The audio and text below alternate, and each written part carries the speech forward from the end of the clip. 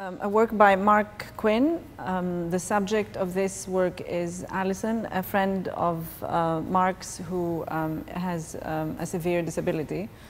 Um, this is probably one of the most sort of optimistic uh, works uh, in this show in the sense that um, we, we, get the feeling that this is actually um, the, the, the, force of life trying to overcome everything, trying to overcome um, um, physical disabilities, personal challenges.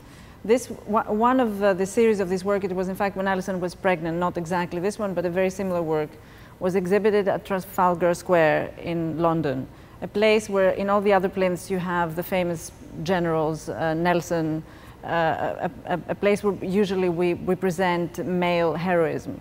So in a way, this was a very um, uh, extremely powerful thing to do, to put on a plinth uh, this sculpture of, uh, that, that, shows uh, a woman, a disabled woman, in, in, fact, a pregnant woman at the time.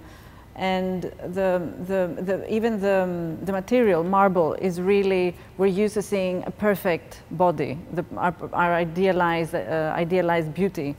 Um, so this is, uh, in a way, a, a sort of the, the heroism, personal heroism.